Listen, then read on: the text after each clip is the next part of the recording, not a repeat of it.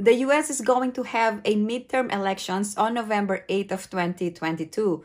So during these midterm elections, 435 seats in the House of Representatives and 35 seats in the Senate will be contested.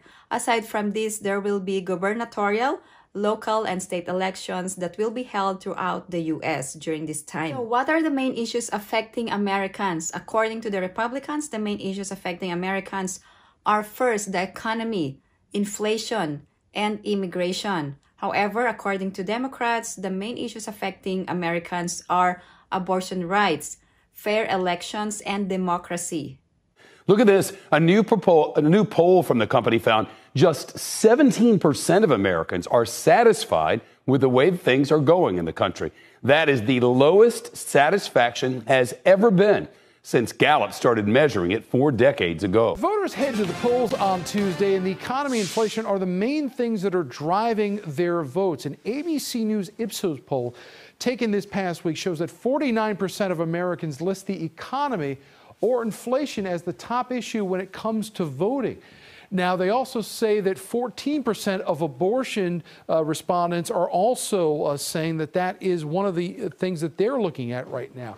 So that's a big difference between where people say their interests are and what the experts have been thinking. And the polling company's analysis shows the lower that number, the more seats the president's party typically loses in the midterm elections. For example, when satisfaction was just 22% 12 years ago under President Obama, the second lowest ever, Democrats lost more than 60 congressional seats. And a new poll from the Wall Street Journal shows one key group is dramatically shifting its support away from Democrats. Over just the past two months, nearly one third of white suburban women say they flipped their support to the GOP. If you are voting or have already voted, what are the main issues affecting Americans during these midterm elections? So let me know your thoughts in the comment section below. I would really appreciate it. According to a Republican Senate candidate, inflation is the main issue in today's midterm elections. Inflation is crushing Americans and it's disproportionately hurting the most vulnerable.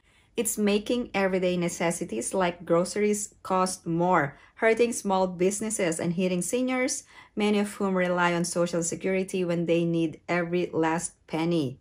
However, for Democrats, they are prioritizing abortion rights as their pitch to voters, meaning to say, abortion rights are more important than inflation issues. Who do you think will win in the upcoming midterm elections? Let me know your thoughts in the comments section below. If you have any other questions or comments, please post them down below and I will get back to you as soon as I can. Again, thank you guys for supporting my channel. And if you haven't liked this video, please give it a big thumbs up. And if you haven't subscribed to my channel, please subscribe and hit that notification bell. I always welcome new subscribers. Thank you guys for watching. I hope everyone is staying safe and have a great day.